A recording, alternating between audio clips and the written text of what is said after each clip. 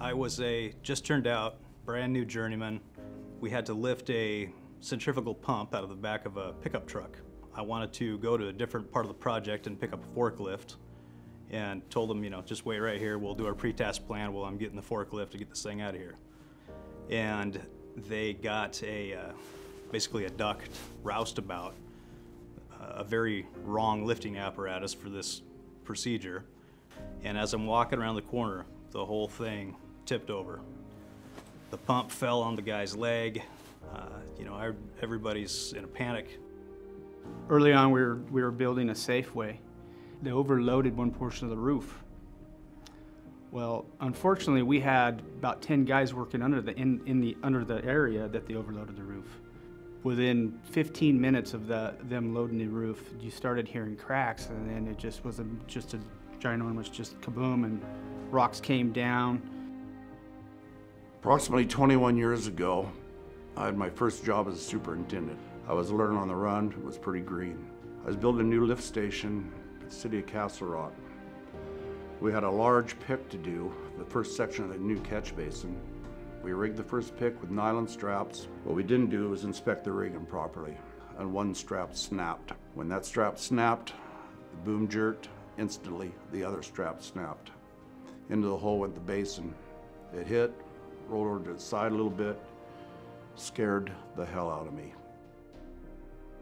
So we were on a job site in Southern California, probably about 25 plus years ago.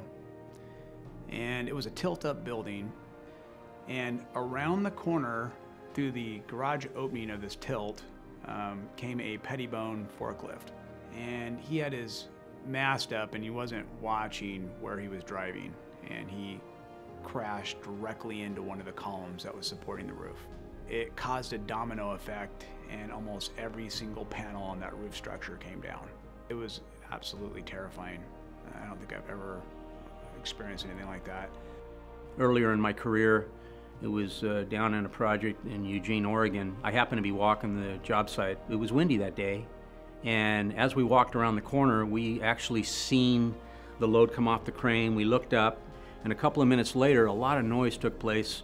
Something shifted, and the entire structure came down and rolled over.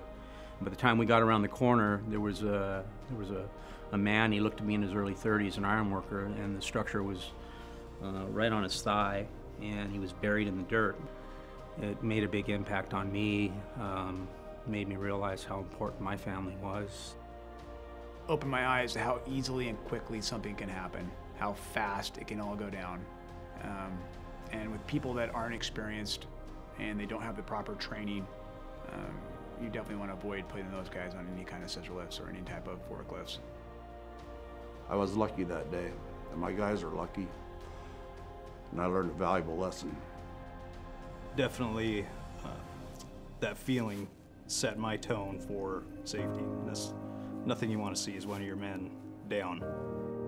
Even if you think you've got it figured out, check it more than once. I mean, human error all the time.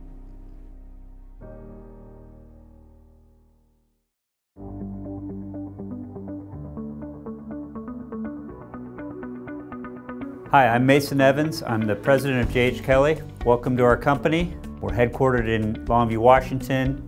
We are a fourth generation family owned construction company. My great grandfather, Jack Kelly, founded the company. We do projects in Oregon, Washington, Idaho, Montana. We work in oil refineries, paper mills, power plants on the industrial side. And on the commercial side, office buildings, hospitals, central plants, university work. Safety is a core value of J.H. Kelly. Uh, we won't compromise on it. We need you to go home in the same condition that you came to work in, and uh, we need to watch out for each other. So let's be professional, safe, and uh, do right by our customers. So welcome aboard.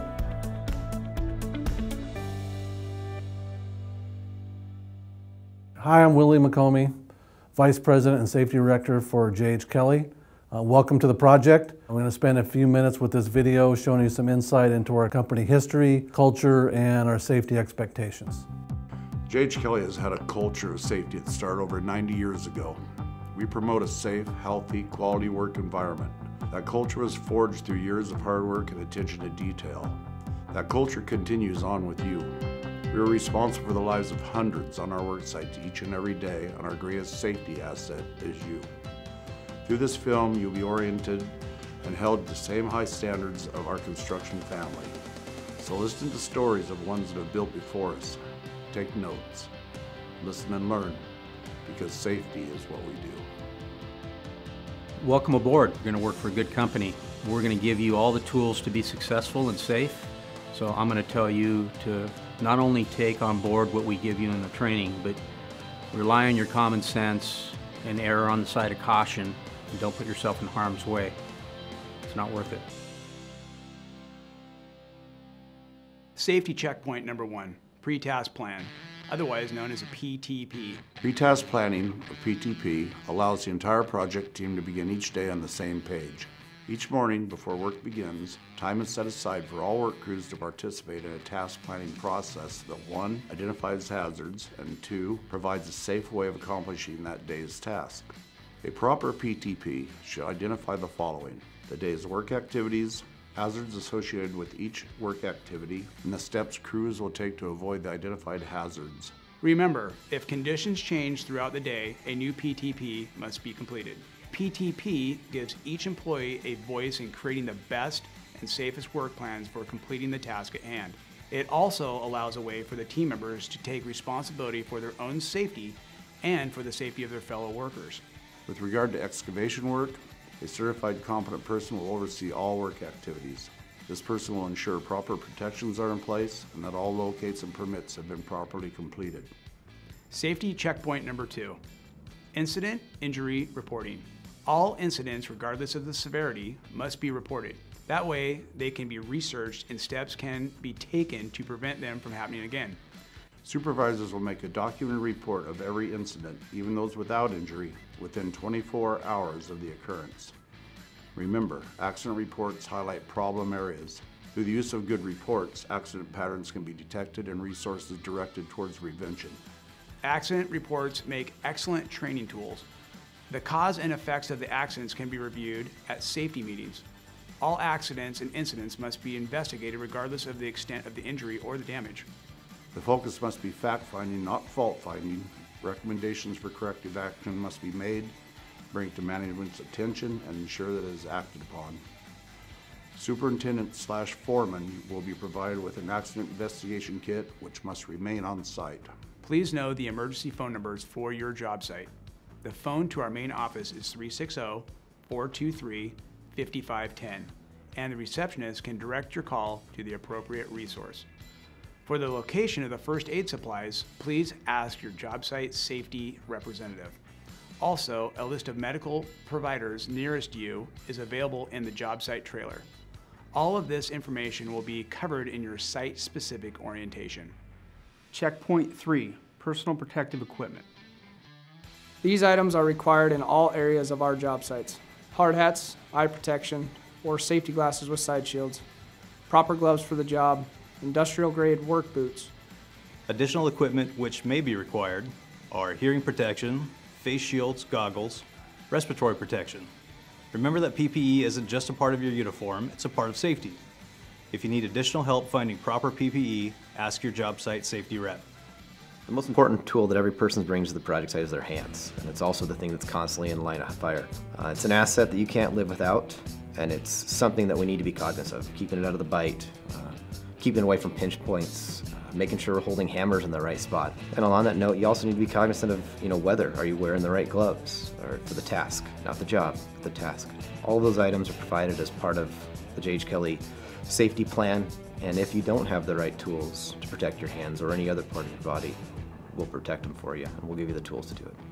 Checkpoint four, fall protection.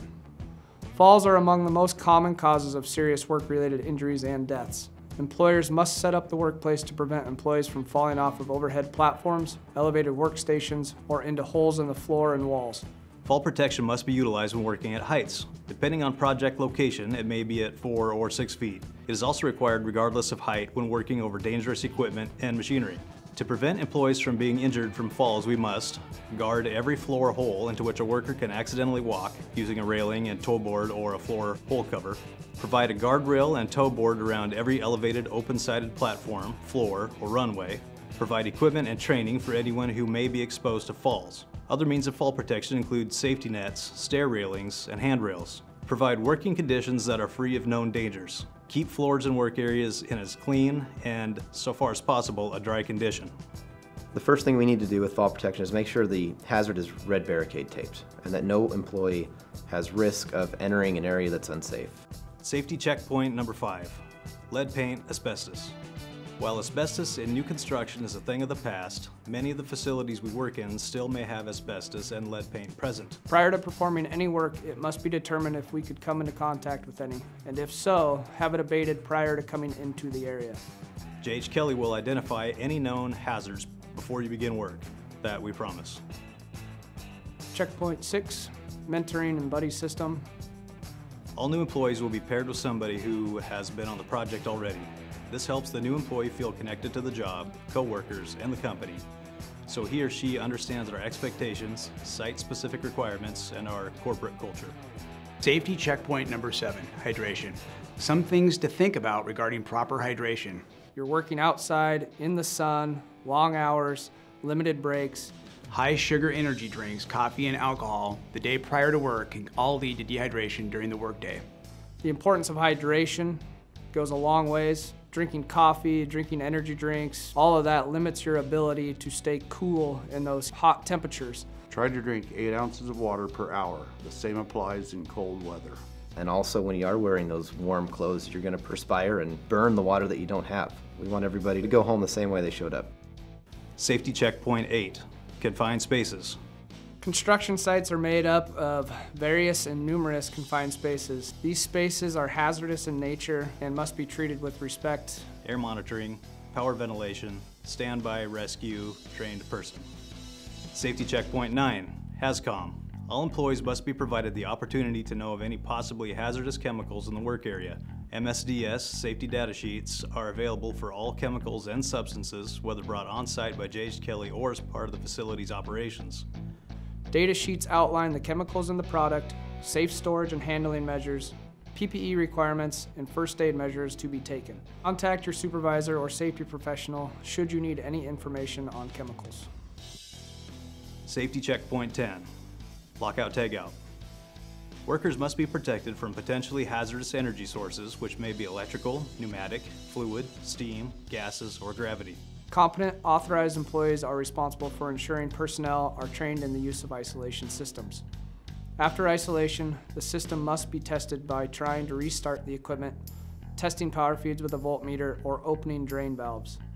All affected employees must place their own lock and tag on the isolation sources or lockbox. No exceptions. Safety checkpoint number 11, equipment. At J.H. Kelly, heavy equipment is a part of almost every project we build. Working safely in and around all machinery and equipment is a requirement for working at J.H. Kelly. First, some specifics. Forklifts will only be operated by those people trained and that a current forklift operator's card. If you don't have one and your job requires one, contact your safety rep to sign up. Anybody operating a scissor or boom lift must be trained in its use as well. Inspect all equipment before using it and do not use it if any deficiencies are found. All crane operators must have an NCCCO or equivalent certification. All rigging must be conducted under the supervision of a qualified rigger. As a site pedestrian, be sure to make eye contact with the operator before crossing in front of or behind their path. Remember, heavy equipment cannot break easily, but your body can. Be safe and be aware around all equipment. And remember, inspect the work area, ensuring adequate clearances around all power lines while lifting any object. Safety checkpoint 12, stop work authority.